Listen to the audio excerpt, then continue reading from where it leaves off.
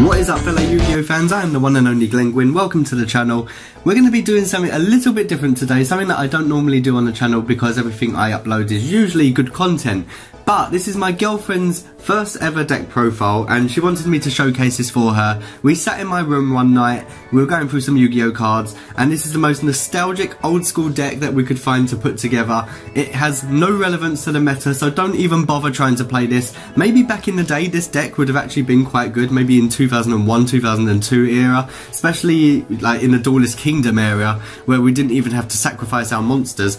So as you can see in front of you, we have cards that don't even have sleeves because back in the day when I used to go to school, I never even had any sleeves. So we're going to go through this deck profile. There's 50 cards in the deck. We've gone for the old school, beautiful paper mat just like back in the day, I used to go to Toys R Us with my mum and I used to buy Starter Deck Joey, Starter Deck Yugi, Starter Deck Pegasus and Starter Deck Kaiba uh, boxes and these mats used to come in them. So without any further ado, let's get into this really weird, fun deck profile that my girlfriend actually put together. So obviously we have the boss himself from Starter Deck Yugi, Dark Magician. Then we have Blue Eyes White Dragon from Starter Deck Kaiba.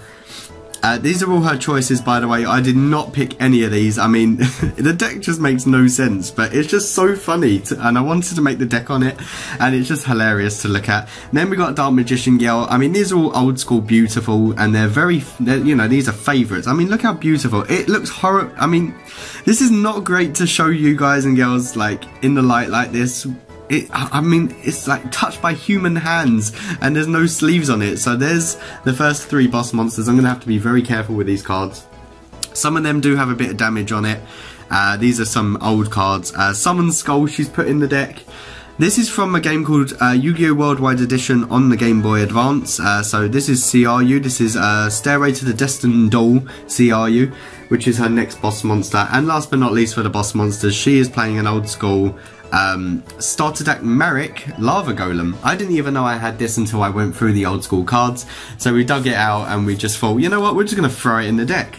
So please do not take this deck profile seriously. It is really stupid, but it's also really fun for the channel at the same time, especially for the nostalgic fans that are out there. Then we have the Secret Rare Alpha, Beta and Gamma. Um, I don't actually know where this is from. Are these from a, uh, a video game? A Duelist of the Roses, is that? I'm not actually too sure. If someone could hit me up in the comment section, let me know what uh, this set is. I think it is Duelist of Roses, and then it would not be complete without the other boss monster himself. This is um, WC4 Valkyrion. I don't actually know where WC4 is. I thought it was like a World Championship card. Obviously, it's not. Otherwise, that would be hella expensive, and hopefully that's not fake. Then she's put uh, Time Wizard in her deck, and then we're going back in time, definitely with Time Wizard uh, Kaiba Man, which used to, uh, you could tribute him, and then you could special summon one Blue Eyes White Dragon from your hand. So he's not actually, he's actually one of the newest cards, to be honest, in this deck. And obviously, it wouldn't be complete without Penguin Soldier, because I am Glenn Gwyn, Penguins are my life, and I love Penguin Soldier. It's probably one of my favourite all-time cards. So I said, I said to her, you know what, Rachel, please let's put Penguin Soldier into the deck, and it is starter deck Joey Penguin Soldier, the original and the best. You'd flip it, and you would return up to two monsters on the field uh, to your opponent's hand. Really good card. This just made me laugh. Okay, so she, we were just laughing and she was just like, Glenn, and I was like, yes. She was like, that looks like me after I've eaten. So I was like, well, you love chicken and now we're going to put Niwatori in your deck because it's a chicken and it looks like you've just eaten. So it's a really full up chicken. It's fat and she's not fat whatsoever. Not that I have anything against fat people but she does love the D god damn it sorry uh, I didn't mean it like that. That is Lord of D. That is the next best card. And um, yeah, Lord of D obviously is Lord of Dragons, but obviously these this day and age with the adults that are playing Yu-Gi-Oh, I think we all kind of agree that that is uh, about something else. Uh, this is probably the best deck card in her deck. Um, Morphing Jar, obviously, both players discard all their cards in their hands and draw five. So you don't even have to have a discard, you can just like literally draw five new cards off of this card. Really cool effect. Um, a really old school card, which I personally wasn't even I literally just threw it away, but she was like, oh, okay, it looks like me looking over you because I'm an angel, she was saying, and I love you, and she wants to, she wanted to cuddle me. So basically, that's me, that's her, and uh, yeah, Soul of Purity Light, went into the deck. Amazing.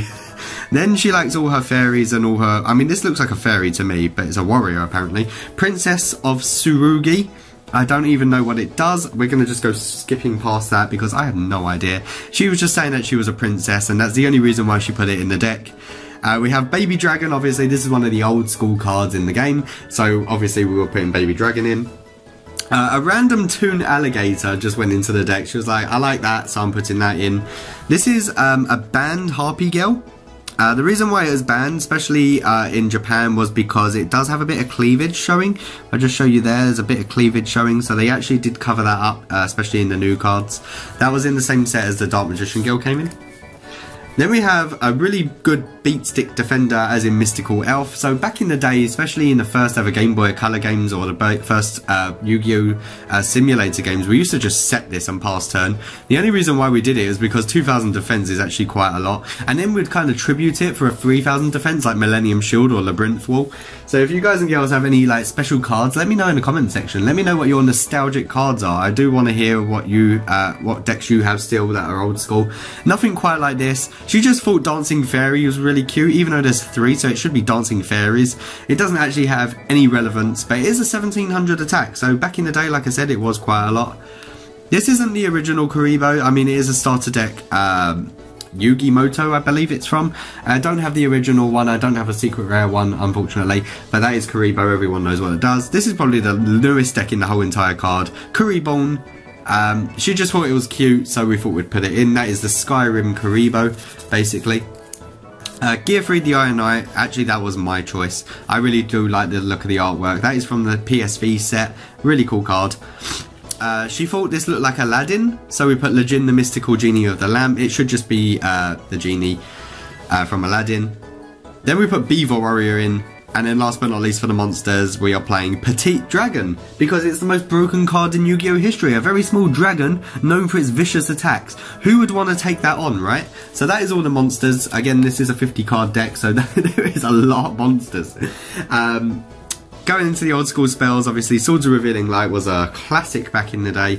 Obviously, back row removal, even, even to this day, from what, 2004, 2005 era, Mystical Space Typhoon is still being played to this day. Same with Scapegoat, I know they've uh, knocked that down on the uh, Forbidden list, but Scapegoat, obviously this is from Starter Deck Joey, and Scapegoat is a classic card. Polymerization is not an old school polymerization, unfortunately I don't own one, but it is for Valkyrion and the Magnet Warriors. If she was ever to play this deck, this deck would have to be played against a 10 to 11 year old child because there is no way this deck is going to be able to do anything. But then again, when it comes to the trap cards, you'll see that your opponent can't actually do anything to us either, especially in this current meta. Uh, so then we have Dark Hole, obviously that would destroy all monsters on the field. We don't own an LOB Raigeki, unfortunately, so we can't be playing that. Enemy Controller, old school card, I do like that. And then I dug out Fissure, and I showed her Fissure, and even she knew what Fissure is. So Fissure is destroy one opponent's face-up monster with the lowest attack. It's a it says Magic card on it, that's how old it is.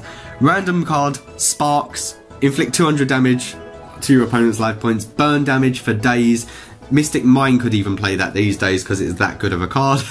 Uh, we played De-Spell, uh, so basically back in the day you'd play this card, you would flip a card that's face down. If it's not a spell, most of the time it wouldn't be a spell, it'd be a trap because it was face down unless your opponent is baiting you out with certain cards.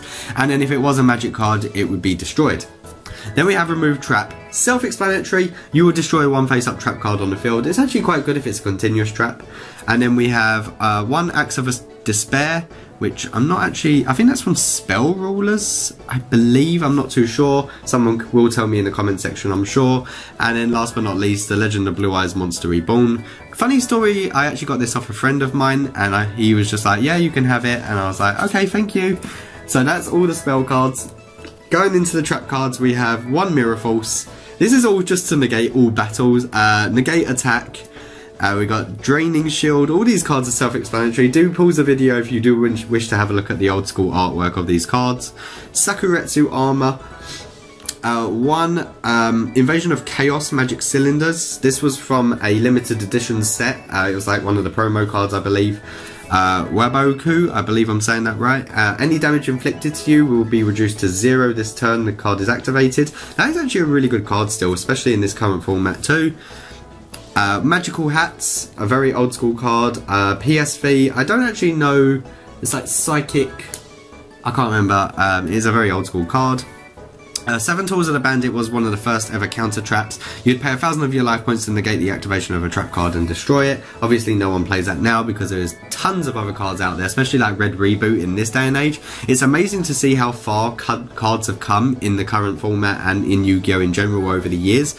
And last but not least for the deck, uh, we are running one Call of the Haunted, also from the PSV set, and back in the day you would select one monster from your graveyard, special summon it in face-up attack, and when this card is destroyed or removed from the field, the summon monster is destroyed also. If the summon monster is destroyed, that card would also go also. So it'd also be like it's like a 50-50, it's back and forth. No matter what happens, if the monster leaves, the card would leave.